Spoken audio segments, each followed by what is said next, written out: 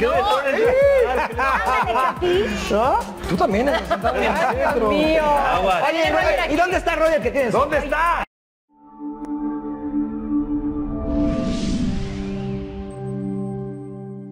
El niño diciendo de quién es el niño. El niño. Acá está el sobre.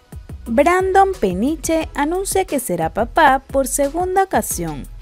La cuarentena sigue haciendo de las suyas y para muestra de eso es el integrante de Venga la Alegría, quien anunció mediante el matutino de la mañana de este miércoles que se convertiría en papá por segunda ocasión.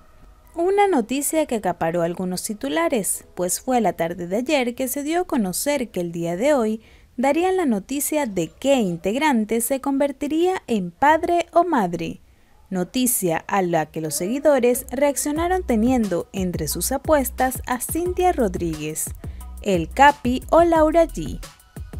Nadie se ha salvado, ¿eh? A Tabatita, Brandon, Cintia, Capi, Sergio, eh, los destampados, Penélope también está. siendo Roger el que se encargaría de dar la noticia, agradeciendo antes que nada al auditorio por estar presente en este momento tan especial.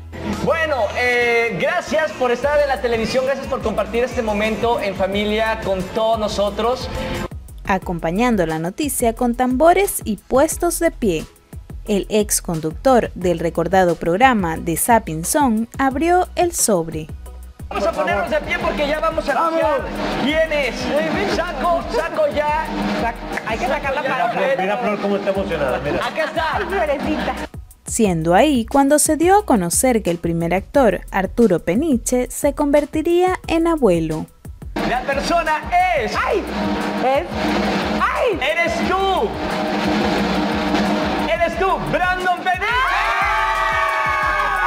El también actor acentuó que realmente le costó el tener que ocultar que él sería el próximo en convertirse en padre por segunda vez.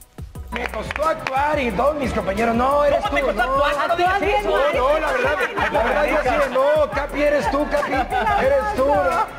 Sentenció que tanto él como su esposa ya tenían muchas ganas de dar la noticia, pero como lo más prudente es darla a conocer después de los tres meses, mejor esperaron. La verdad es que ya teníamos muchas ganas de decirles, obviamente, este, muchas gracias.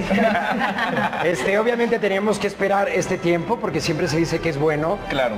Crystal Sid, esposa de Brando, por su parte vía telefónica se mostró muy emocionada.